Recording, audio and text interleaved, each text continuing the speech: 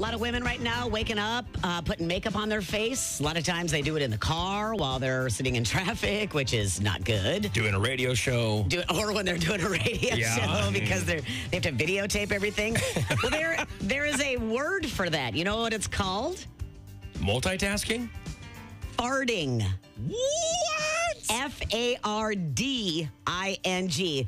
Putting makeup on your face is called farding. So if you see a woman and she's in her car and she's putting makeup on her face, you can go, hey, kids, look, that woman's farding. 50 years old, ladies and gentlemen. Well done, Launa. Give me the website that you're on right now. no, uh, Where'd you get it?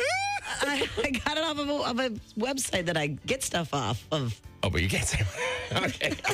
Oh my goodness. Somebody check her browser history immediately. Tampa Bay's morning crew. 99.5 QYK.